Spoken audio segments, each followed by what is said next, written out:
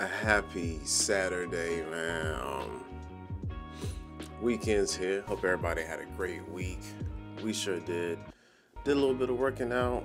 Oh, It smells like prayer in here. a little core work today. What you did today? Legs. March the first. Crazy. Time is flying.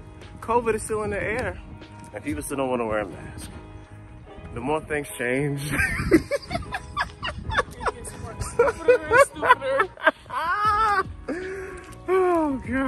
god. Just say COVID is in the air while we're outside. Bask in it. Did some reviewing. Did a uh, review with Dez, of course, for the WandaVision series finale. Go check that out. I'll leave the link in the description, of course.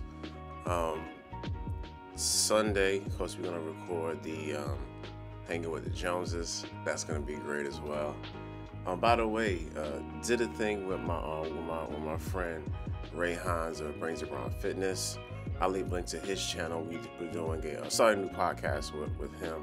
Like, yo, your emotional well-being is is more important than you working out right now. check it out, especially if you if you're a man in regards to you know emotional wellness and how we need to take care of that.